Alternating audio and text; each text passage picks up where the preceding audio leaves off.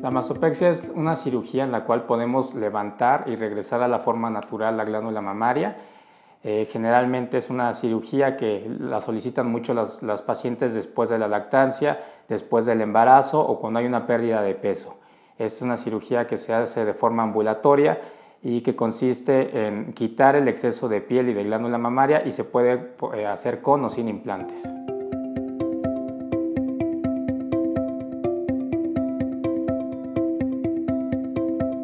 La mastopexia se puede realizar de dos formas, con o sin implantes, y existen distintos tipos de cicatrices. La cicatriz puede ser alrededor del areola y del pezón, una cicatriz en forma de ancla y una cicatriz en forma, nada más, una cicatriz vertical.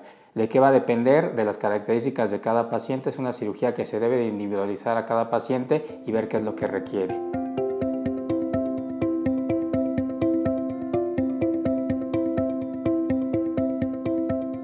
Los principales beneficios son regresar la glándula mamaria a la posición original, mejorar la forma, mejorar el escote, darle en algunos casos un mayor volumen o incluso disminuir el volumen dependiendo de las características y los deseos de cada paciente y generalmente da una imagen ya eh, mucho más eh, joven, más alegre y más estética el cuerpo de cada paciente.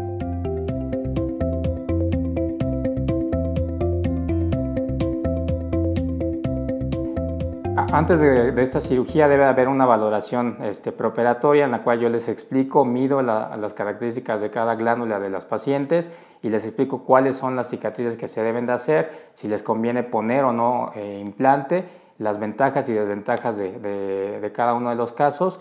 Y bueno, es una cirugía que se hace de forma ambulatoria, es una cirugía que dura tres horas.